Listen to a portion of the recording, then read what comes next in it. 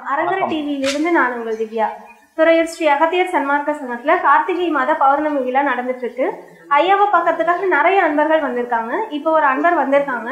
அவங்களோட அனுபவத்தை பத்தி நம்ம கேட்டு தெரிஞ்சுக்கலாம். வாங்க. வணக்கங்க ஐயா. வணக்கம் அம்மா. உங்க பேருங்க ஐயா? பேர் கனகராஜுங்க. நீங்க எந்த ஊருங்க ஐயா? கோயம்புத்தூர்லேருந்து வரேங்களா நீங்க எத்தனை வருஷமா இங்க குடியிருக்க வந்துட்டு இருக்கீங்க குடிலுக்கு ஏழு வருஷமா வந்துருக்குங்க உங்களுக்கு கோயம்புத்தூர்ல இருந்து இங்க துறையூர்ல ஓங்கார குடியிருக்கிறது எப்படி தெரியுங்க? சொர்ணமணி அப்படின்ட்டு வந்து அவர் வந்து அவங்க அப்பா வந்து ஸ்ரீதரன்ட்டு. அவர் வந்து இங்க பத்து பதினஞ்சு வருஷமா தொழில் செஞ்சுட்டு இருக்காங்க.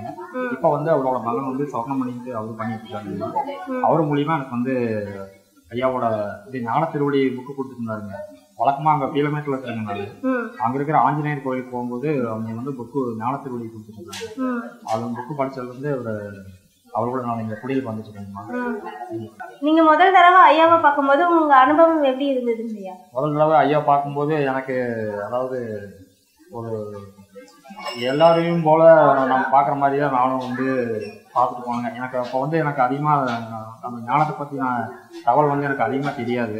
அதனால வழக்கமாக சரி அதாவது ஒன்றுமே தெரியாமல் தான் வந்து ஐயாவை பார்த்தேங்க அதுக்கப்புறம் ஐயாவை பார்த்ததுக்கப்புறம் எனக்குள்ள நிறைய மாற்றங்கள் என்னுடைய குழால் அந்த நிறையா கெட்ட பழக்கங்களால என்னை விட்டு விடுபட்டுச்சுங்க. அப்புறம் என்னோட வருமானம் கொஞ்சம் ஓரளவுக்கு கூடியிருந்துச்சு. அப்புறம் எனக்கான வேண்டுதல்லாம் சில வேண்டுதல் ஐயா கிட்ட வச்சேங்க. அதாவது திருமணம் அப்புறம் பொருளாதார இது இதெல்லாம் வந்து ஐயா கிட்ட வேண்டுதலாக வச்சேங்க. கொஞ்சம் கொஞ்சமா வந்து ஐயா சொன்னாரு நீங்க வந்து இந்த புலால் சாப்பிடுறதெல்லாம் விட்டுருங்க தம்பி. அப்படின்னாரு. அதே மாதிரி நானும் செஞ்சேங்க. அதுக்கப்புறம் எனக்குள்ள நிறைய நான் என்னோட வேண்டுதல் எல்லாமே நடந்துட்டு வந்துச்சுங்க குடும்பத்தோட ஐயா பார்த்துருக்கீங்களா ஐயா? ஆ வா வந்து பார்த்துக்கலாம் அப்போ இப்போ இடையில ரெண்டு மூணு தடவை வந்து குடும்பத்தோட வந்து பார்த்து போடுங்க நீங்க ஓங்காரக்குடியில பத்தி கோயம்புத்தூர்ல இருக்க மக்கள் கிட்ட சொல்லியிருக்கீங்க கண்டிப்பா சொல்லியிருக்கேம்மா சொல்ற மக்கள் என்ன சொல்றாங்க ஐயா? சொல்றவங்க வந்து ஒரு சிலர் ஏற்றுட்டு என் கூட வந்தவங்களும் இருக்கிறாங்க. ஒரு என்னோட கூட வேலை செய்கிறவங்க ஒரு அஞ்சாறு பேர் நான் அனுப்பிச்சிருக்கேங்க வந்து ஐயா வந்து பார்த்து ஆத்தி வாங்கி போனாங்க. ஒரு சிலர் வராதவங்களும் இனிமேல் வரக்கான வாய்ப்புகள் இருக்கு. சரிங்க என்னோட அனுபவம் வந்து ஐயாவை சந்திச்சல் வந்து எனக்குள்ள நிறைய மாற்றங்கள் நிறைய நல்ல மாற்றங்கள். அது வந்து எனக்கு ரொம்ப சந்தோஷமா இருக்கு.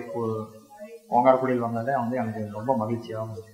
உங்களோட அனுபவத்தை எங்களுக்கு சொன்னதுக்கு ரொம்ப நன்றிங்க. ரொம்ப நன்றிங்கம்மா. ஓம் அகத்தீசாய்